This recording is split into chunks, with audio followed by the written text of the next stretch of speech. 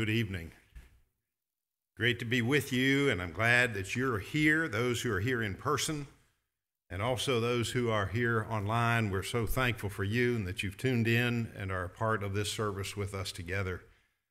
We are broadcasting live from the Central Church of Christ here in Martinsburg, West Virginia. We appreciate those of you who are joining in, and I would encourage you to get your Bible and open it to the book of First Corinthians this evening in chapter 9, and we will be beginning there in verse 19 in just a moment. In a series of sermons which we have entitled First Corinthians Today, a series that is designed to draw practical lessons from an ancient book uh, that we can uh, follow in our lives here in modern the current culture. I want to say to those of you who are assembled here, this is the B plus group this evening. Uh, B plus means very, very good, but not quite perfect. Uh, there's, there's nobody here, I guess, who's claiming to be perfect, but we've got a lot of very, very good folks here tonight, and we're thankful for that. Everybody is socially distanced, everybody is wearing masks. For those of you who are yet looking forward to returning, we encourage you and invite you to continue to watch on, uh, on the live stream and return when it is appropriate uh, for you to do so. In 1 Corinthians chapter 9, we looked in the first part of this chapter, verses 1 through 18, about Paul's apostleship. And he begins in verse 19 a section which we are entitling By All Means. By All Means. That's verses 19 through 27. Verse 19 says, For though I was free from all men, I brought myself under bondage to all that I might gain the more. And in just a few moments, gentlemen, I may have to step to the forward microphone because I don't have a monitor and way of seeing that that I can read. I can I could barely see that one, but it's on and off. Now it's on. So, oh, there it is. Great. Great. See, these guys are good. Let me tell you, folks. Though I was free from all men, I brought myself under bondage to all that I might gain the more. I'd like you to notice here that Paul had just explained the need to sometimes give up the right to do certain things. You remember we talked about that in the prior verses how he had a right to expect financial support from the church at Corinth as he had received from other congregations, but he did not exercise that right at Corinth, and he explained his reasons for that. Uh, just because we have a right doesn't mean we have to exercise it. That's an important principle that we've talked about. Also, though, he continues here to use himself as an example, and he's going to lay out some very timely um, procedural matters that should govern our thinking and the way that we live our lives. Now, before we go any further, I want to plant a seed in your mind for you to be thinking about, if you would. You can sort of keep this on the back burner for a little while. When was the last time you went out of your way, maybe did something uncomfortable or that you didn't really want to do, in order to reach the lost? Just think about that for a few moments as we move through these verses. The Apostle Paul was a tremendous soul winner, and he was very interested in even going out of his way and making his life a, a great blessing to others. Incidentally, for those who are watching online, you can't hear it, but we are hearing rain, and it is such a delightful sound because we need rain. We need rain badly. We've, we've been on the verge of a drought here in this area, so it's great to hear a little bit of rain tonight. We notice also that Paul deliberately denied his own desires and his preferences in order to reach others. He says, Though I was free from all men, I brought myself under bondage to all. Look at the wording there. He considered himself as a slave to other people. Why? That I might gain the more that I might somehow reach someone for Jesus Christ. Question Do you think of yourself as a slave to other people? You say that to some people nowadays, and you're going to get in trouble. But you know, the Bible says we are all to be slaves. In fact, the word bondservant is used many, many times in the scriptures to describe the Apostle Paul himself and the relationship that we should feel toward our Lord and Master, and that we should also be subservient to one another. Why? Well, because that's how we're going to reach other people. We're going to treat other people better than ourselves. Philippians chapter 2, Paul taught that we should have the mind of Christ, who, was a who had a servant mentality. You see, that's a very different way of looking at ourselves than what is presented oftentimes in the culture, where people are encouraged to think of themselves as, as uh, you know, full of rights and very high and mighty. And there's nothing wrong with having these rights, but Paul said, you know what? I got some rights I didn't even exercise. Why? I am interested in you. I want to gain people for Jesus Christ. I'm talking about souls to bring them to Jesus Christ. This is Paul's mindset. And we could learn something from that, I think, if we're very, very thoughtful about that principle. Verse 20, he says, And to the Jews, I became as a Jew that I might gain the Jews. To them that are under the law, as under the law, not being myself under the law, that I might gain them that are under the law. When he says there, the Jews, I think he is referring to unconverted Jews, that is, uh, of the stock of Israel who had not yet obeyed the gospel. Now, we studied in our Bible class this morning Romans, and I hope you were able to tune into that and be a part of that study, where Paul describes there who, who is the real Jew in the spiritual sense, okay? Not in an earthly or uh, uh, physical sense. So it's important to recognize there that, that, that there were people, and there still are today, who are of the Jewish race or of whatever race, but Paul says, I became as that race, as a Jew in this case, unconverted to Jesus Christ.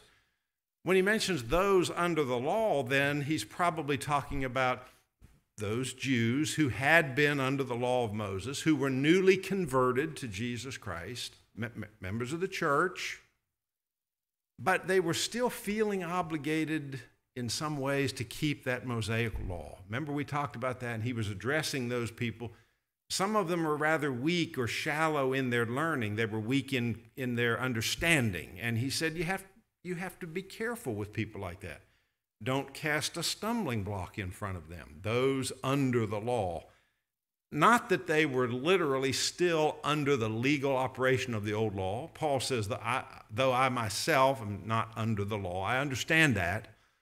But he was careful to relate to them on their terms. He was careful not to be a stumbling block to them. And he became, as much as he could, consistent with Christianity, he became as one under the law. I think of the case of Timothy, whom Paul says uh, he took him and circumcised him, even though Timothy was a, a grown man by this time, he was a young man. You read about that in Acts chapter 16 and verse 31. Why, did, why was that done? Because of the Jews that were there. he was disarming the prejudice that might otherwise interfere with Paul's preaching and with Timothy's preaching.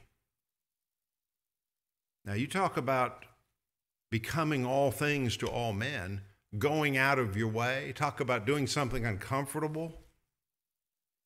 Timothy was willing to do that. And I think it probably hurt Paul more than it hurt Timothy. But he, had, he, did, he did it to reach people with the gospel. Acts chapter 16 and verse 31. Verse 21 To them that are without law, as without law, not being without law to God, but under law to Christ, that I might gain, gain them that are without law. I think I've already covered that. And when he says them that are without law, I think he's talking again outside the scope of the Mosaical law. Let's go to verse 22. To the weak I became weak, he says, that I might gain the weak. And I'm become all things to all men, that I may by all means save some. Now, there's the title of our lesson tonight. By all means. Obviously, by all legitimate means. When he's talking about the weak here, he's talking about those who are spiritually weak, those who are less mature in their understanding of the gospel. You see, everyone in the church isn't at the same level of maturity, spiritually speaking. There are novices in the church, and there's nothing wrong with being a novice. You know, when I got my first amateur radio license, it was called, and I guess it, the entry level license is still called the novice class. Well, that wasn't an offensive term, that was a way of saying that you were a beginner. Every Christian is at some point a beginner. We come up out of the watery grave of baptism, we are a novice. And in that one particular, at least, we are not qualified yet to serve as a, an elder. An elder is not to be a novice, according to Paul, Paul's letter to Timothy, 1 Timothy chapter 3. But there's a period of maturing and growth that takes place before one would expect to be able to shepherd other people. How many novices are in the Lord's church? Well, it depends. There are congregations with many, many novices. Somebody said, Well, I'm not a novice. I've been in the church for 30 years. Oh, really? How many years of maturity have you acquired during that time? See, I've known of people with one year's worth of maturity who've been in the church for 30 years. They stopped growing 29 years ago. They are a novice. Length of time isn't what determines whether a person is weak spiritually. But Paul says he was able to spot them. You can tell when you talk with people in the church, you can tell by the word usage, by their vocabulary, how scripturally they speak, how correctly they use biblical concepts, how deep is their understanding in the Word of God. You can tell real quick when you're dealing with someone who's weak spiritually. Paul says, I picked up on that and I was careful with people like that. I became weak. I may have used a phrase that was uh, not as precise or not as technical as I would have used with somebody else. Why? Because they were weak. They weren't in a position yet to receive it. Those weak or less mature in their understanding of the gospel. But the main thing is that I, by all means, again, by all legitimate means, obviously, might save some. You see where Paul's focus was throughout all of this process. Verse 23 And I do all things for the gospel's sake, that I may be a joint partaker thereof. Notice, there were things that Paul refrained from doing. He didn't want to cast a stumbling block in front of people, but there were other things that he affirmatively did. In fact, he says, I do all things for the gospel's sake. I, I suspect if, if you could have a conversation with the Apostle Paul about this time, talk to him, say, for example, about tent making. Why do you make tents, Paul? He wouldn't say, Well, I make tents because I really appreciate the skill of making tents. And, and I just think about people who who really would like to have a tent. And, and, and I really get into making tents, and, and he would go into a lengthy description about. No. He'd say, I'll tell you why I make tents. It's for the gospel's sake. And that would get your wheels turning, wouldn't it? Let me ask you a question. In your secular job, why do you do that? We have some nurses in the room tonight. Why are you a nurse?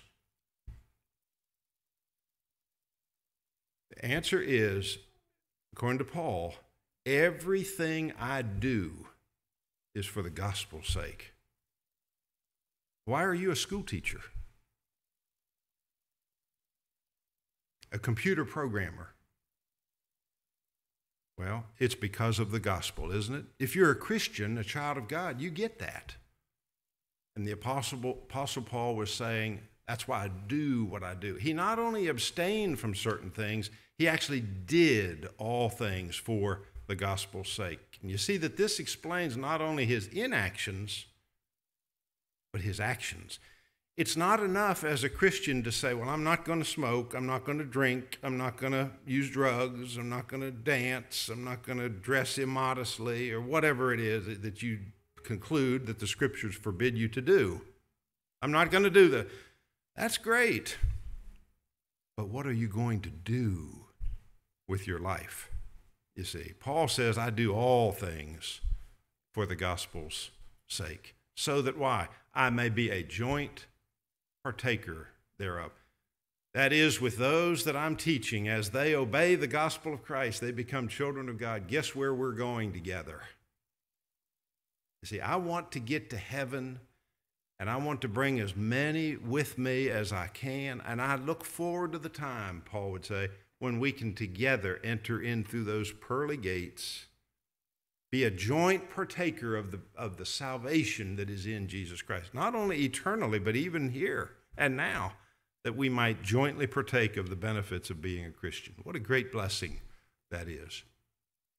Verse 24 Know ye not that they that run in a race run all, but one receiveth the prize. Even so run that ye may attain. Now, Paul switches here to give us a helpful illustration, an illustration based on games that were conducted in that very region where he was writing to. They were familiar with the Isthmian Games, they knew all about that, the training that would go into the participation in those games.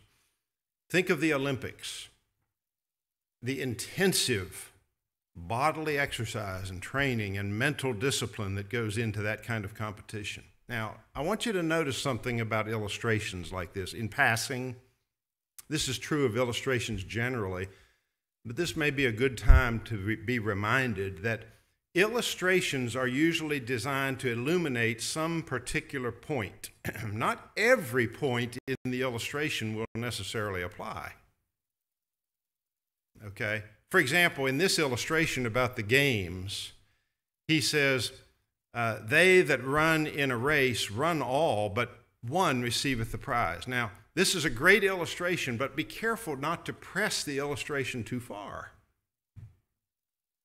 More than one Christian is going to win the prize, folks.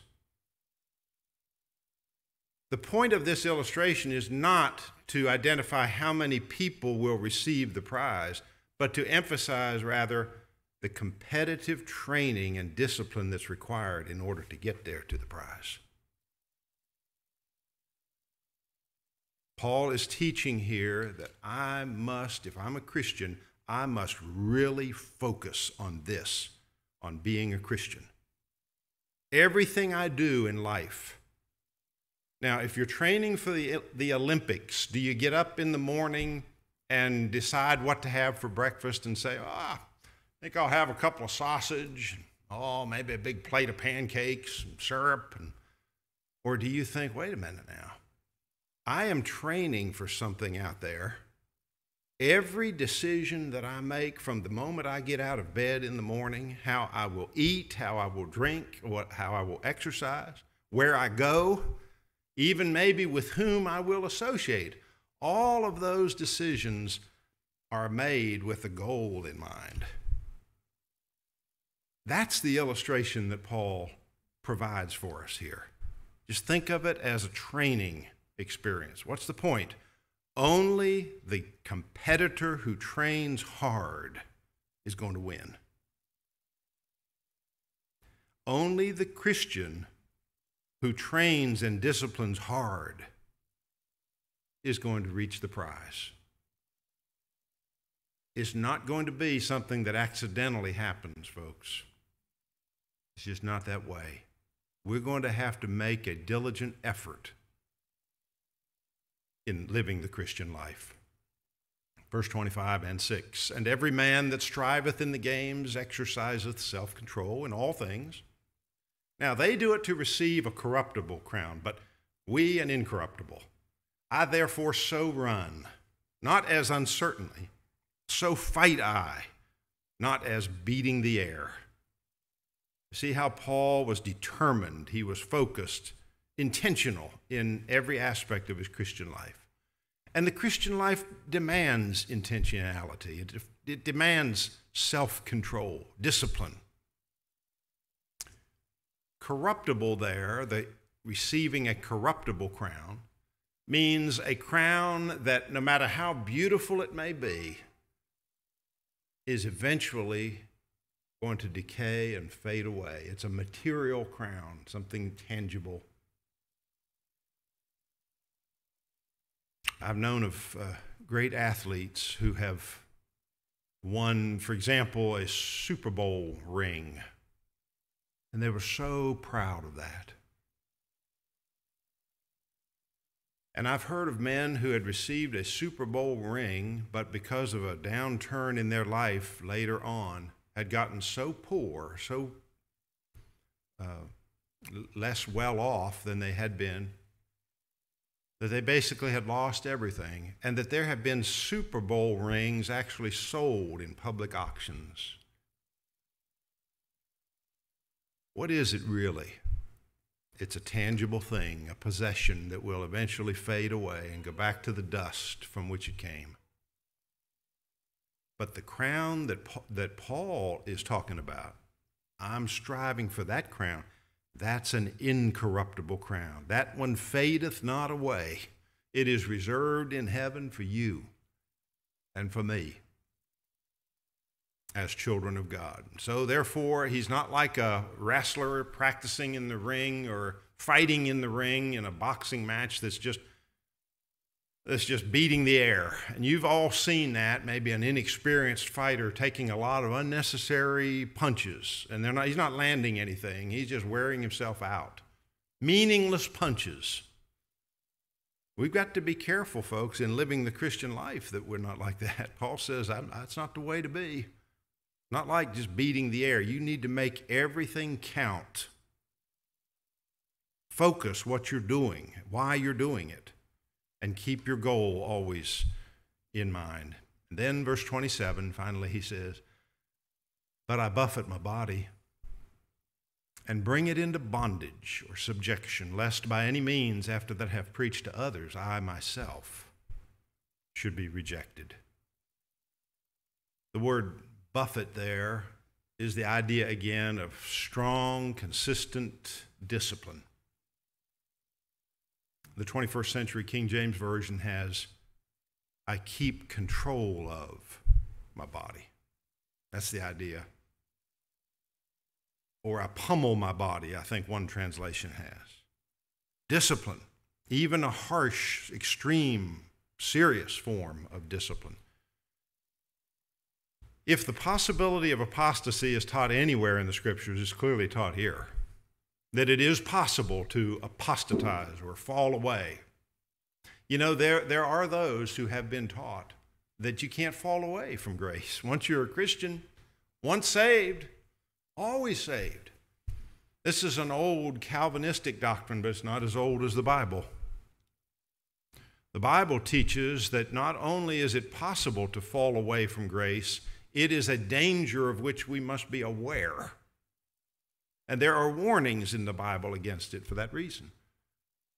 So Paul would say, for example, in 1 Corinthians chapter 10 and verse 12, therefore let him that thinketh he standeth take heed lest he what? Fall. Here in this passage again is very clearly taught the idea that it is certainly possible to fall away. Think of it. Paul spending all of that effort and energy to advance the cause of Christ and then slacking off what if he was to slack off toward the end of his life? Stop buffeting his body, as it were, disciplining himself, spiritually speaking. What would happen? He says, I myself would be rejected. No, we've got to maintain discipline, maintain that faith, that focus eh, all the way to the end. Be thou faithful unto death, and I will give thee the crown of life. Revelation chapter 2 and verse 10. Let's uh, close this evening with some points to ponder. Now, I want to come back to the back burner with you and recall what we threw out there a little earlier. Let's remember, folks, that our main purpose in this life is to glorify God and to bring as many souls to Him as possible. That's why we're here. We're not here necessarily to advance our own interests. Now, if advancing our own interests leads to greater glory for God, leads to an advancement of these goals, then so be it. But our purpose is not to glorify ourselves. It's not to see uh, you know, how, how far we can get politically or powerfully or well connected in this world.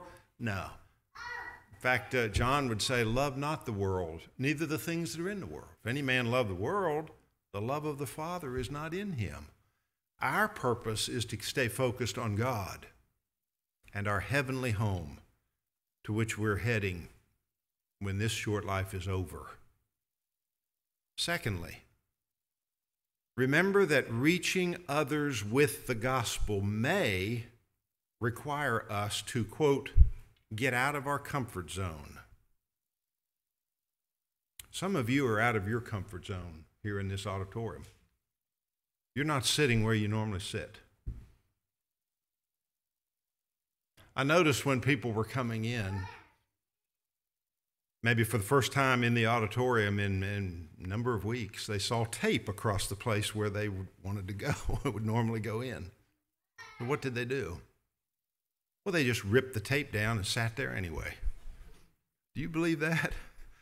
No. They got out of their comfort zone. Why did they do that? Well, they understood that that would be a, a wise, courteous thing to do.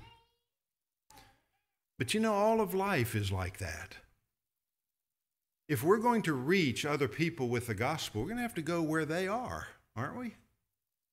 We're, if we're going to reach a person with the good news of Jesus Christ, we're going to have to become like them. Now, don't misunderstand me, but isn't that what Paul said? I have become all things to all men, that by all means I might save some. He didn't adopt their sinful lifestyle, but he went to their turf.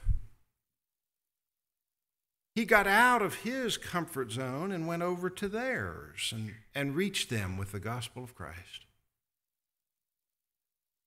I've known of a few brethren down through the years who wouldn't give up their parking place in the parking lot, much less get out of their comfort zone to reach somebody with the gospel. Folks, we're not going to get very far in reaching the lost if we don't move to their turf. Paul says there's a lot of ways that I did that. I did it racially, I did it religiously, I did it in terms of maturity. I tried to relate to people the best that I could with what God gave me in order to reach the lost. So, with that in mind, let me uh, ask you this question as we close to reach the lost, when was the last time that you, that you personally, did two things? First, gave up something that you wanted to do. When was the last time that you gave up something that you wanted to do? Well, I'm not going to Sunday night services because I want to watch Columbo on TV. Did you hear the, reaction. That was a person who's never even heard of Columbo. Oh, I'm, I'm, not, I'm not going to knock on any doors because I don't want to do that. I'm not going to speak to my neighbor about Jesus Christ because I don't want to do that. I'm not going to invite my friends to the services because I don't want to do that. When was the last time I gave up something that I wanted to do? And then the other half of that, when was the last time that I did something I didn't really want to do? Which is the other half of the same question, really. Getting out of my comfort zone means saying to my Lord, Speak, Lord, thy servant heareth. Here am I, Lord, send me. Tell me what I must do. Make me an instrument of yours. I hope that these thoughts have been helpful to you in remembering what our main purpose is and what the main thing is all about here in this life, so that by all means we might also save someone as a child of God. If you are not a child of God this evening, please review carefully the scriptures on the screen before you. Please think seriously about Jesus' great invitation to come under him, unto him and to do the things that the Bible requires you to do in order to be saved. Our contact information has been posted also on the screen, including our phone number, our email address, and during these times of limited in person interaction, you can still reach out by telephone or email, and we'll do whatever we can do to assist you in your obedience to the gospel. And I pray that that will be your desire and your intention, that you'll not let that opportunity pass you by if you're subject to the Lord's invitation. This evening, if you're here in person and need to respond in any way, we will stand humbly here at the front to receive you. If we may help you in your obedience, would you come while we stand and sing?